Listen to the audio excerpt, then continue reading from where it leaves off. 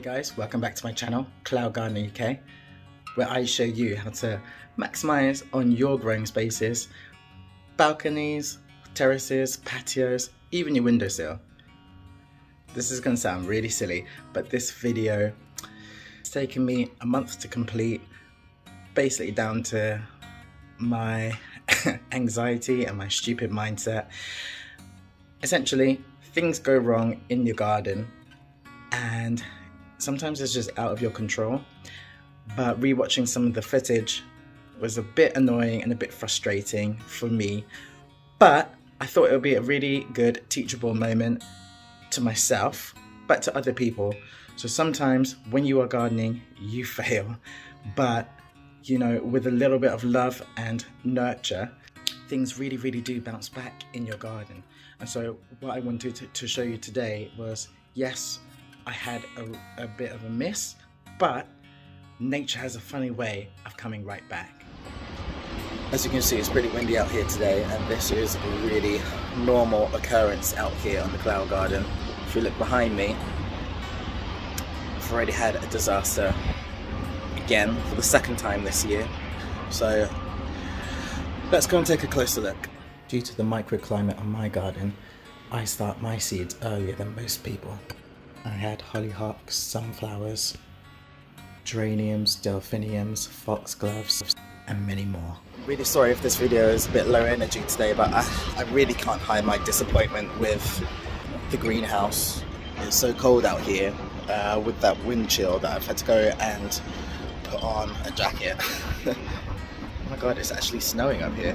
So one of the things with the wind up here is there's no way to combat it. So if you are ground gardening, you would probably put up a hedge in your windy section and that will create a kind of barrier. It's like a windbreaker, which will then protect the rest of your garden. But if you have a look at the cloud garden,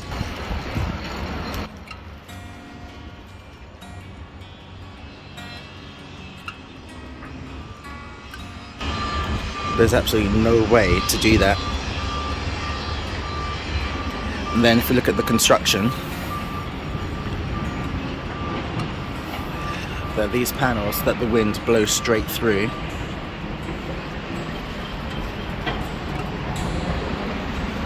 As well as the um, protection.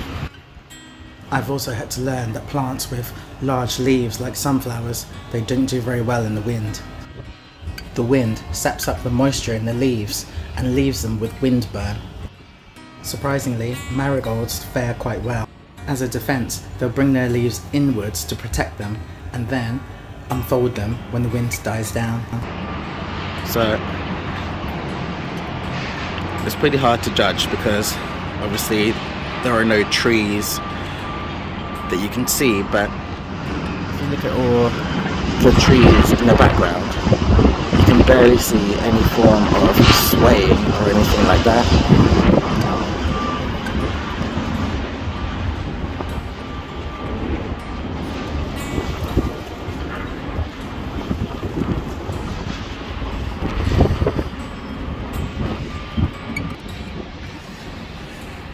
Normally I keep my eye on the weather and if I can see that it's going to be relatively windy then I would have to take the relevant and necessary precautions up here by bringing anything tall back into the cloud garden. But weather watching there was there was absolutely no sign that the wind up here would be this strong so now I've got to start the process of essentially packing up the garden and putting as much inside as I can or at least resting it to a point where I know that the plants and pots up here will be safe. So I'll show you that process as well as dealing with that greenhouse and the damage. I suspect I've probably already lost one of my red cabbages which I have been growing for about five months so I'm pretty gutted. Anyway. Here are some of my sunflowers that I had to bring in last year. These cherry tomatoes were also brought indoors too. This year I've set myself a challenge of doing some more vertical growing. It will be a real challenge against the wind, but I want to give it a try. the garden is looking pretty wild, but as you can see, everything has bounced right back. Let me show you. I remember being so upset about my cabbages, but look at them now. In fact, all of my brassicas are absolutely thriving. I did lose a vast amount in the greenhouse, but I did manage to rescue the snapdragons and also my geranium cuttings. So there you go, we're going to leave this on a high note. I hope you enjoyed this video, don't forget to give it a like, and hopefully I'll see you again soon. Bye!